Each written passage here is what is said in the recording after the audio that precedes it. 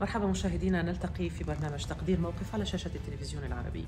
عدوان استمر لست وخمسين ساعة على قطاع غزة. تقول إسرائيل إنها استهدفت فيه بشكل مباشر حركة الجهاد الإسلامي. نتحدث اولا عن السياق العام لهذا العدوان من حيث الأسباب والحسابات العامة والاستراتيجية للاحتلال الإسرائيلي، ما الأسباب في استهداف حركة الجهاد الإسلامي تحديدا في هذا الوقت؟ وأي دور تطلع به الحركة في هذه المرحلة على الساحة السياسية والعسكرية خارج قطاع غزة؟